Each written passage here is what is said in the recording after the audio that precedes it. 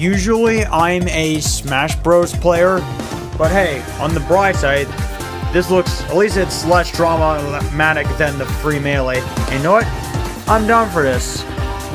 The guys sending quote the PS3 Xbox port have immediately rollback netcode. All we ask is that we actually let us purchase the game. Tragic, the one of the greatest games of all is unavailable to fans without restoring to emulation. Hashtag free Marvel vs. Capcom 2. And that's what the fans are doing. We got free Marvel Capcom 2 trending on number 5 in the US. Didn't mention free Marvel vs. Capcom 2 because I could say free Marvel vs. Capcom 2. This is a proof that people still play this game and still care about this game. We want Marvel vs. Capcom 2 back in our bare hands.